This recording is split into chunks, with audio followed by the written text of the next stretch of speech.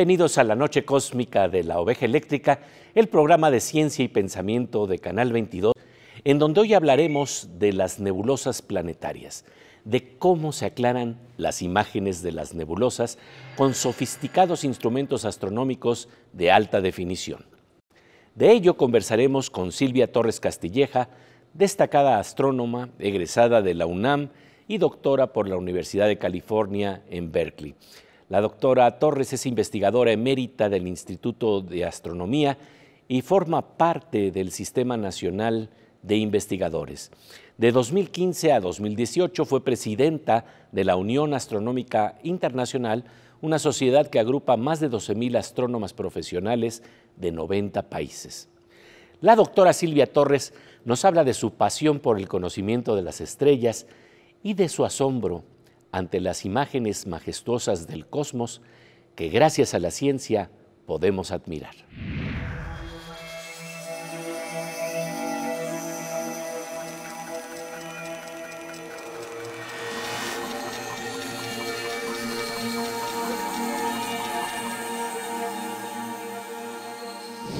Doctora Silvia Torres Castilleja, de verdad un gusto encontrarnos aquí en la Oveja Eléctrica. Pues es un gusto estar aquí en tu programa, es encantador. Oye, y pues fíjate, para hablar de algo que realmente es asombroso, el estudio de las estrellas, el estudio de las nebulosas, háblanos de cómo empezó tu pasión por conocer las estrellas. Empezó un tanto por casualidad, debo de confesar eso. Pero una vez que empezó, ya no se movió. Estoy en, en lo que sí estoy feliz de ser astrónoma de tener la oportunidad de voltear a ver el cielo, de ver las observaciones, de, compartirlas con mis compañeros, de compartir observaciones que hayan hecho otras personas y yo aplicarlas a mi proyecto. Entonces es, un, es un ambiente muy interesante, es todo un, pues es un reto porque es difícil hacer las observaciones, es complicado entenderlas, pero es muy satisfactorio seguir adelante. Y, estamos hablando de la evolución de los instrumentos para observar el cielo. Háblanos desde esos días en donde te asomabas en Tonancintla para ver eh, eh, el cosmos, para asomarte a las estrellas, y cómo ha evolucionado toda esta observación hasta el momento en que tenemos estas imágenes de las nebulosas planetarias tan hermosas que nos entrega el James Webb. Bueno, empecé esto, esta carrera en 1958. Entonces, mira que ya llevo rato. Y me han tocado ver el cambio, el cambio tecnológico de mil cosas, pero digamos, específicamente en astronomía. Eh, antes las imágenes eran fundamentalmente fotografías, fotografías en vidrio, blanco y negro, porque entonces se tomaba y se obtenía el negativo, donde las estrellas aparecían negras y el fondo más clarito, y había que revisar esas, esas observaciones. O con espectrógrafo, entonces aparecían las líneas o lo que fuera que estuviéramos observando. Y eso ha ido evolucionando maravillosamente porque se ha pasado de la placa fotográfica a los detectores electrónicos. Primero eran de bulbo, los primeros detectores eran de bulbo y se observaban estrella por estrella, uno por uno. Apuntabas el telescopio y nada más observabas una estrella 10 segundos, 20 segundos o 2 minutos o media hora, lo que fuera, y punto. En un gran telescopio o un pequeño telescopio, eso era lo que se hacía. Ahora pues se ha, cambiado el detector, el detector son CCDs, son de muchas ventanitas, de muchos píxeles, entonces de una sola imagen pues tomas muchos datos de golpe. Y se, y además ya lo estás haciendo, todo esto lo grabas electrónicamente, lo vas guardando y lo analizas posteriormente en tu computadora. Esto ha sido un cambio importantísimo y además incluso la parte electrónica ha ido cambiando brutalmente. Y la, la parte del almacenamiento de datos también se ha modificado muchísimo. Eh, los datos originalmente, bueno, empezaban en cinta perforada y luego en, bueno, la computadora es otro asunto, digamos, la imagen, las instrucciones se daban en tarjetas, en tarjetas perforadas, que había que perforar uno por uno y uno acomodaba las tarjetas para dar la instrucción de un programa y etcétera. Después se pasó a una cinta física, una cinta de, papel con agujeros, después se pasó, no sé, hemos pasado por muchos, muchas eh, maneras de guardar los datos, lo cual es complicado. Es complicado porque es muy difícil mantenerlos actualizados. O sea, pasar, dices, ya, ya no sirve este, hay que pasarlo a este otro, este otro modelo y es difícil disciplinarse y hacerlo. Así es que, es que eso es complicado. Es, es, como si ahora quieres usar tus cintas, eh, grabaciones, tus cintas eh, de audio, que, eran, dos cositas de este tamaño, ya no, ya no tienes ni dónde, ni dónde escucharlas. Sí, claro, los cassettes ya, ya. los cassettes desaparecieron. Bueno, pues así, una cosa equivalente. Teníamos cassettes donde guardábamos las imágenes, las, las señales. Y, ha ido cambiando. Y, y las imágenes ahora extraordinarias. Siguen siendo, podríamos decir que es blanco y negro porque se toman color por color, un filtro y otro filtro y otro filtro. Pero como en la computadora los puedes eh, combinar y se le aplican los colores que tú desees, normalmente se buscan los colores que correspondan a la verdad, y entonces salen estas imágenes extraordinarias y maravillosas. Cuando apreciamos la evolución de las majestuosas imágenes que hoy tenemos del cosmos, recordamos que la palabra admirar significa mirar con perspectiva. Y eso es lo que justamente surge del trabajo laborioso que paso a paso realiza la ciencia para entender cómo se forman las estrellas y las nebulosas planetarias. De ello conversaremos después del corte con la destacada astrónoma mexicana Silvia Torres Castilleja. Mientras tanto, pasamos una sección con nuestra querida compañera Aura López, quien nos habla de investigaciones de vanguardia y proyectos vinculados al conocimiento que se impulsan hoy en día en nuestro país.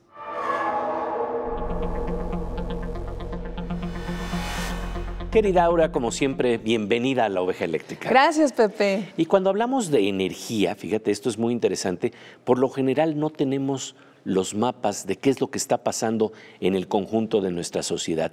¿Por qué sería importante que todos tuviéramos mayor información al respecto.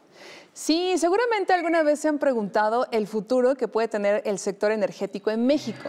Y CONACIT ideó Planeas, un proyecto nacional de investigación e incidencia transversal del PRONACES de energía y cambio climático, cuyo objetivo es sistematizar, analizar y modelar escenarios sobre la energía en México. Su nombre, el de Planeas, es un acrónimo de Plataforma Nacional Energía, Ambiente y Sociedad y busca centrarse en tres ejes. Crear un sistema de bases de datos con información energética, ambiental y social, analizar la información recopilada y mostrarla abiertamente a la sociedad por medio de una plataforma de visualización y desarrollar herramientas que faciliten la comprensión y planificación energética para las y los tomadores de decisiones que a su vez faciliten la creación de diseño de políticas públicas para la sociedad.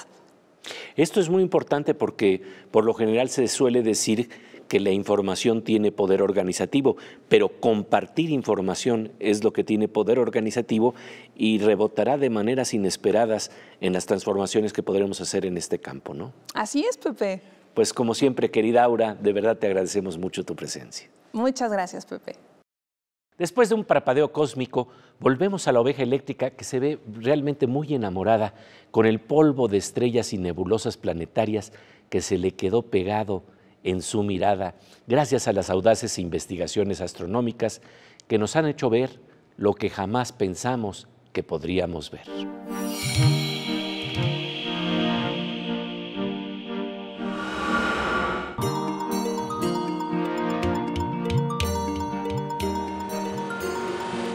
Como de rayo con tintes verdes y dorados que nos permite ver la formación de las estrellas y las nebulosas planetarias, estamos de regreso en la noche cósmica de la oveja eléctrica, en donde seguimos conversando con Silvia Torres Castilleja, la primera mujer que a nivel nacional obtuvo un doctorado en astronomía. Su principal línea de investigación es el estudio teórico y observacional de la materia interestelar. En particular estudia la composición química de los gases calientes que rodean a las estrellas muy jóvenes y a las estrellas en sus fases finales de evolución.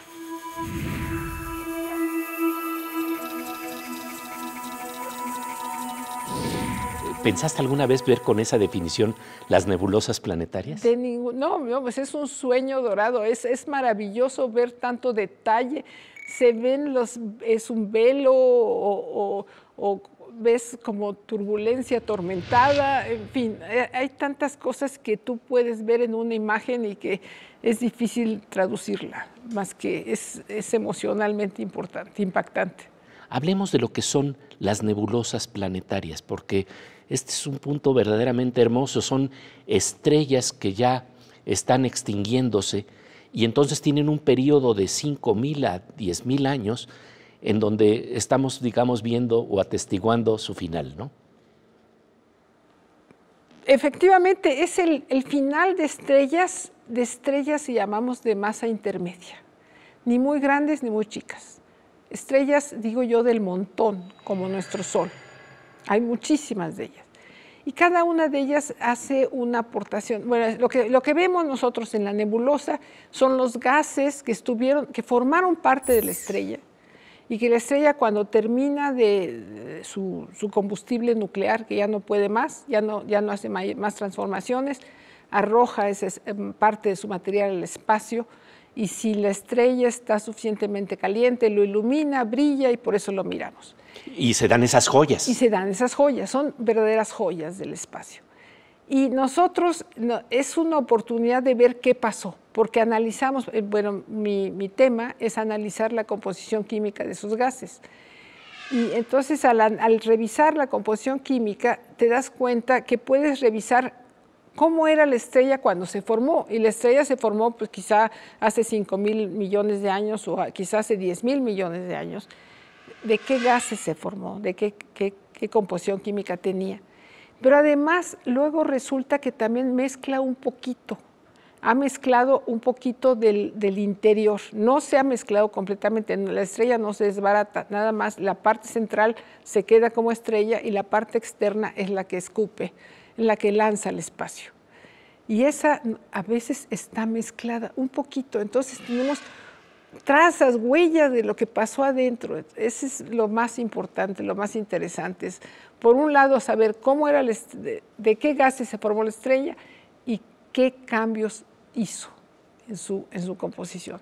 Entonces, eso lo hacemos objeto por objeto y luego dónde están ubicados en la galaxia, si hay comportamientos generales o si cada estrella hace lo que quiere en fin, es uno busca la, generalización si, se encuentra y a veces no se encuentra. Oye, ¿y esto este, te da un conocimiento de nuestro vecindario cósmico, de nuestras avenidas que tenemos que son más amplias de las que conocemos? Eh, para mí es muy interesante de que al conocer estos gases estamos viendo la historia no solamente de esa estrella, sino de, nuestra galaxia en general, si, si, estamos hablando de nuestra galaxia. Entonces vamos a poder reconstruir qué ha pasado durante la historia de la galaxia. ¿Por qué? Porque originalmente se forman las estrellas, después de la gran explosión o la gran expansión, se forman, nada más hay hidrógeno y helio entonces las primeras estrellas son las que construyen los demás elementos. Y eso se va construyendo poco a poco. Y esto es lo que estamos tratando siempre de avanzar, de reconstruir. Ya lo sabemos en general. Entonces queremos entender cómo se formó la galaxia, la historia de la galaxia. Y por lo pronto, bueno, por un lado la historia y un, un tanto el futuro. Eso para nuestra galaxia. Y para otras galaxias, pues también los queremos entender eh, eh, cómo, se han formado. Estos son los grandes problemas que a mí me interesan y, tenemos ahí divergencias de opinión y esto es lo que nos mueve quizá. Discrepancias debidas a la interpretación de los datos, porque estamos hablando de observaciones que son tan, tan delicadas que uno de repente puede decir, pues sí, pero esto cómo lo interpreto, porque no es el contexto que siempre tenemos. Exactamente, la discrepancia o la diferencia no está en la observación, sino cómo se interpreta esa observación. Y, bueno, pues cada quien tiene su punto de vista y seguimos trabajando en eso. La clave de las observaciones, tanto de las estrellas como de las personas que nos rodean, está en los datos, en los detalles. Tiene que ver con la interpretación de la información, de los gestos. De ello seguiremos conversando después del corte con la destacada astrónoma mexicana Silvia Torres Castilleja. Mientras tanto, nuestra querida Miriam Moscona nos trae la mirada estelar del asombro en rincones inesperados que aparece gracias a los ojos de la ciencia y la tecnología.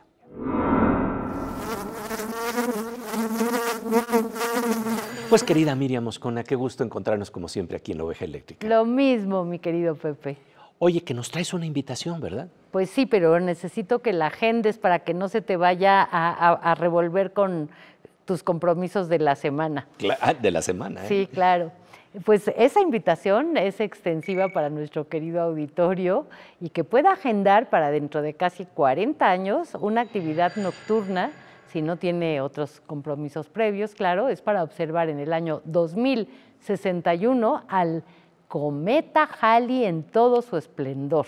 Lo que la oveja no sabe del todo es si habrá mundo, pero por si acaso viene el cometa más famoso de la historia de regreso a nuestros cielos terrícolas. Estemos o no estemos aquí. Ah, sí, exacto. Después de casi cuatro décadas, por fin ha emprendido su viaje de regreso a la Tierra el cometa Halley, considerado el más famoso de la historia. Ya alcanzó el afelio, su punto más alejado del Sol, a unos 5 mil millones de kilómetros. La última vez que estuvo en el mismo punto de su órbita fue en abril de 1948, mientras que su último momento de máxima aproximación al Sol se dio un día memorable de 1986. Por tanto, se prevé que en 2061 regrese de su viaje habitual de 76 años alrededor de nuestro Sol. El cometa Halley fue observado por primera vez por el astrónomo alemán Edmund Halley en 1758. Allí tuvo la suerte de verlo por primera vez y predijo con éxito el regreso del cometa que ahora lleva su nombre. Su habitual abreviatura 1P indica que el Halley fue el primer cometa periódico descubierto. En concreto, sabemos que a partir del 9 de febrero de 1986, cuando llegó al perihelio, el punto más cercano al Sol, inició su largo viaje de regreso al espacio. En los últimos días, sin embargo, ha alcanzado finalmente el afelio, el punto en el que el cometa comienza a acercarse de nuevo al Sol por primera vez en casi 38 años. ¿Qué podemos esperar de la próxima visita del cometa Halley? La época del año 2061 más propicia para admirar su paso hacia el Sol, según informa space.com, será durante un verano, cuando el cometa estará en el mismo lado que el Sol y aparecerá al menos 10 veces más brillante. Será un espectáculo nocturno. Inicialmente su visibilidad se verá obstaculizada por la presencia de la luna llena del primero de agosto de 2061, pero en la noche del 4 de agosto el cometa brillará en todo su esplendor en un cielo completamente oscuro. La oveja eléctrica, que se cree eterna, ya lo agendó. Nuestra querida Miriam Moscona en La oveja eléctrica. Después de un parpadeo cósmico, Seguiremos conversando con la destacada astrónoma mexicana Silvia Torres Castilleja sobre el destino nebuloso de nuestro Sol y los ciclos de formación y destrucción de las estrellas que tienen el sabor agridulce del último canto del cisne.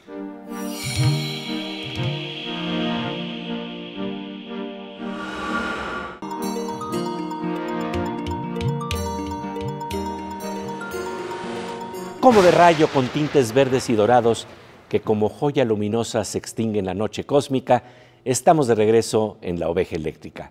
Y seguimos conversando sobre la alta definición de las nebulosas planetarias con la destacada astrónoma mexicana Silvia Torres Castilleja, quien nos habla del destino de nuestro Sol, del destino de nuestro Sol dentro del ciclo del nacimiento y renacimiento de las estrellas.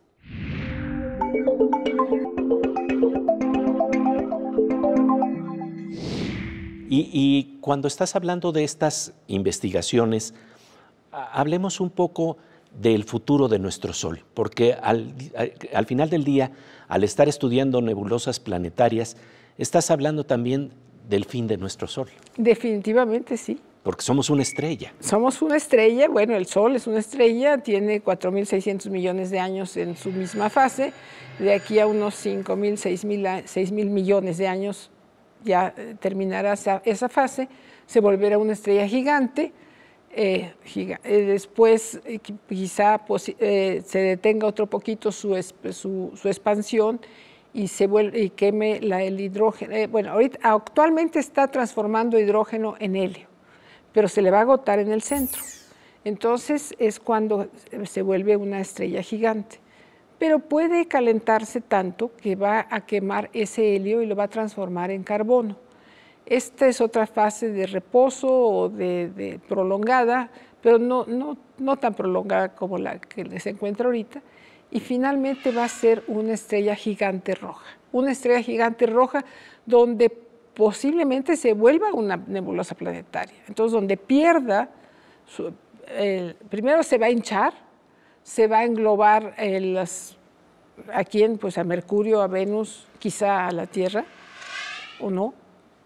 Se va a hinchar, se va a hacer muy, muy grande, 200 veces más grande que nuestro Sol actual, entonces va, va, va a comerse todo esto. Y luego, eh, pues va a perder su material externo la parte de la atmósfera tenue la va a perder, la va a lanzar al espacio y esa atmósfera tenue no va a regresar jamás a ese Sol. Entonces es cuando se va a volver nebulosa planetaria, porque la parte central va a intentar volverse una enana blanca, una estrella enana blanca. No lo va a hacer luego, luego, lo tiene que hacer, bueno, con un cierto grado de, al tiempo que le toque y entonces se volverá una, una, nebulosa planetaria. Lo que no sabemos es qué forma va a tener. Eh, qué forma, porque las formas de las nebulosas planetarias son muchas, muy variadas, unas muy simétricas, otras, otras parecen chorros laterales, otras parecen mariposas, en fin, no sabemos qué forma vaya a tomar. Pero lo interesante es que hay ciclos, ¿no? Y ver regularidades en la naturaleza, eso es muy impresionante porque entendemos muy bien que hay ciclos biológicos, pero hay ciclos y regularidades en la formación de las estrellas. Sí, sí, definitivamente sí. Y entonces este, este, material que se va a arrojar, pues va a servir para que se formen otras estrellas con, con otros materiales que andan por ahí. Y detrás de todo esto, pues está esta pasión por explorar el cosmos, el origen del universo, y el destino del universo, que están llegando hasta lugares que jamás pensaron que podrían llegar, tomar fotografías de agujeros negros y tal vez con ondas gravitacionales acercarnos a ver lo que está más allá de la radiación cósmica de fondo. No, bueno, es que todos estos resultados son novedosísimos y no, no, no nos imaginábamos que llegáramos a eso y no nos imaginábamos que llegáramos a, dilucidar de qué están hechos, eh, a ver, a qué se deben esas, esas ondas gravitacionales, esos destellos de ondas gravitacionales que se han observado, pues es extraordinario que sean estrellas eh, pulsares que se, que se fusionan o estrellas de neutrones que se fusionan. Es, es algo que no, no, nos esperábamos o no nos imaginábamos que, que hubiera con tanta frecuencia están ocurriendo eso. Que ver el, ver el, agujero negro en el centro de nuestra galaxia también eso es, es fantástico. Es verdaderamente es, es, un, es un deleite. Eh, y el otro agujero negro en M87 también. Y así, cada uno de estos resultados, la verdad es que es, es extraordinario vivir esta época de grandes resultados, de grandes eh, avances. Háblame del momento en que tú comunicas a una niña o a un niño la pasión por el conocimiento de las estrellas? ¿Qué pasa en sus ojos? Ah, no, bueno, es, eso me encanta. Me encanta hablar con niños, me encanta eh, explicar, me encanta explicar de las cosas más simples, el movimiento de las estrellas, que vean el cielo, que vean cómo se va desplazando con el paso de la noche, por ejemplo, el cielo. Eso nos lo enseñan en la escuela y nadie lo ha visto. o sea, nadie lo ve, nadie lo ve. Entonces, que puedan ver eso, marcarlo, eso me parece extraordinario. Porque nos ubica en nuestro vecindario cósmico, no nada más en un pequeño lugar, sino que somos habitantes de algo mucho más inmenso de lo que nos imaginamos y que lo estamos pudiendo ver gracias a los instrumentos de la astronomía. De verdad te agradecemos muchísimo tu presencia. Pues muchas gracias a ti por estar, darme esta oportunidad de estar frente a este programa. No hay nada más asombroso que la inmensidad del mundo de las estrellas encendiéndose en los ojos de las niñas y niños. Compartir esa luz del conocimiento es lo que hace generosamente la doctora Silvia Torres Castilleja, a quien agradecemos su presencia en la oveja eléctrica. Y bueno, hay que decir que a nuestro querido Fernando Rivera Calderón también le conmueven los ciclos estelares, los ciclos de nacimiento y renacimiento del cosmos que se expresan en nuestros cuerpos. Y eso lo podemos ver en una hermosa canción que él compuso que se llama Siempre te busqué. En ella nos dice, nos amaremos después, la vida nos matará, seremos polvo otra vez, la tierra nos beberá. Muy lejos de este lugar, tal vez te vuelva a encontrar. Nada será como es, tal vez seamos polvo estelar. Y bueno, vamos a estar encantados de escuchar esta canción en la voz de nuestro querido Fernando Rivera Calderón.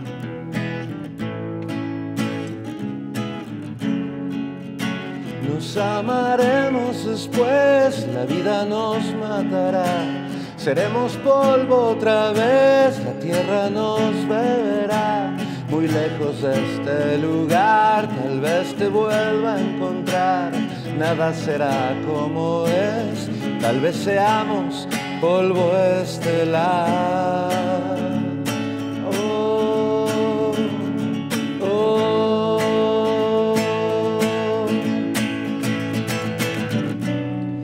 El tiempo pasó, todo transformó.